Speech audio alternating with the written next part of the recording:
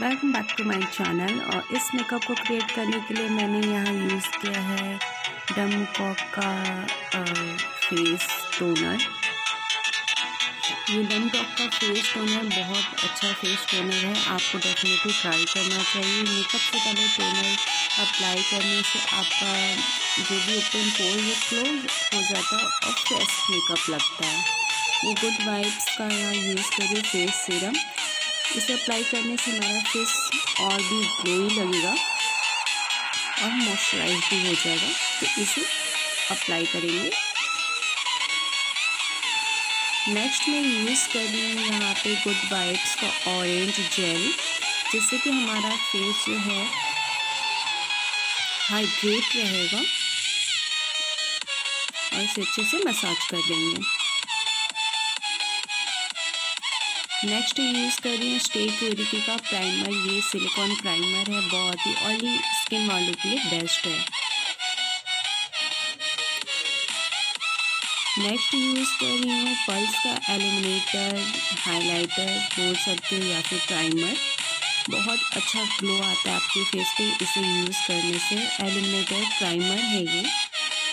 आप देख सकते हैं डिफरेंट आप इसे अपने डेली बेस में भी अप्लाई कर सकते हैं। लेट्स सी नेक्स्ट एब्रो को फिल करने के लिए यहाँ मैं एब्रो पाउडर यूज़ कर रही हूँ। आप चाहे तो यहाँ पे एब्रो पेंसिल भी यूज़ कर सकते हैं। मैंने लिया है म्यूज़िक फ्लावर का। यहाँ पे फिटनी का कंसीलर ले रही हूँ। ये कंसीलर अच्छा है और अच्छा कवरेज देता है। तो आई मेकअप के लिए बेस्ट है। ब्लेंड कर लेंगे इसे। नेक्स्ट मैं शुगर का लूज पाउडर लेके इसे सेट कर लूँगी। उसके बाद आई मेकअप के लिए ये सिवाना का पैलेट है।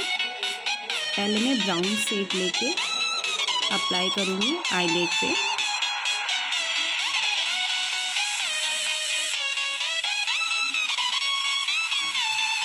उसके बाद पर्पल वाला शेड लेके उसी को डार्क करूँगी।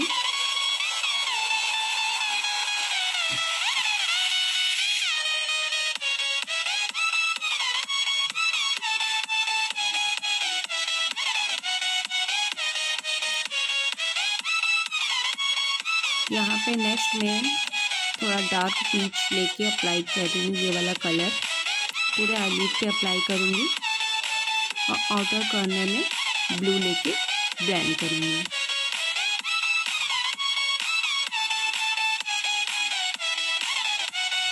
इसे अच्छे से ब्लेंड करना है।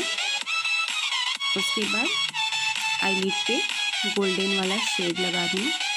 गोल्डन शेड लगाने से आप डिफरेंट देख सकते हो दोनों आई मेकअप में। इसके बाद यहाँ पे कलर एसेंस का ग्लिटर ले रही हूँ, आई ग्लिटर।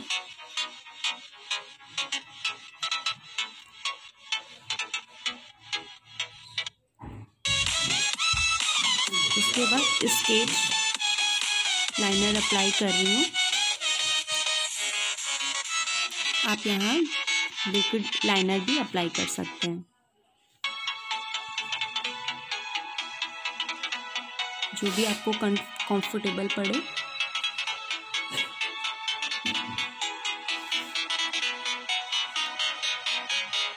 नेक्स्ट यूज़ करिए फिटमी का फाउंडेशन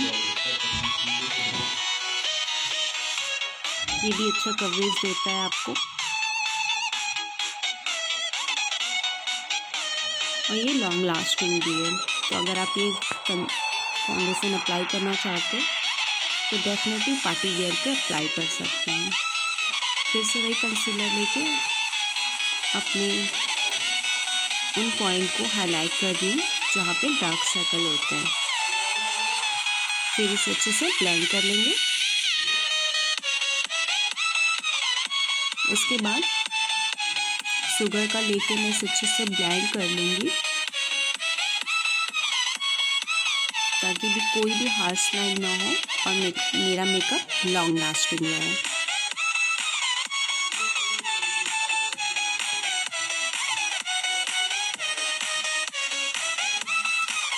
उसके बाद मैंने लिया है बनाना का लूज पाउडर इसे भी सेट कर लेंगे पूरे फेस को।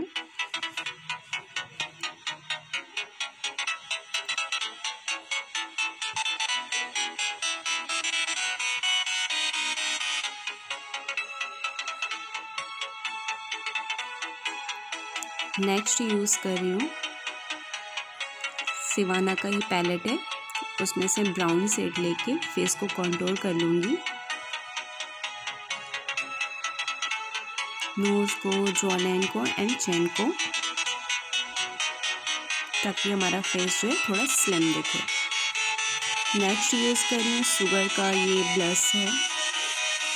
पिच कलर का है। ये डेफिनेटली आपको ट्राई करना चाहिए। बहुत अच्छा ब्लश है ये। बहुत फ्रेश एंड ग्लोइंग सा ब्लश है उसके बाद सिवाना का हाइलाइटर लेके अप्लाई कर दूँ बहुत लाइट मैंने हाईलाइट किया क्योंकि मेरा मेकअप भी थोड़ा हैवी है इसलिए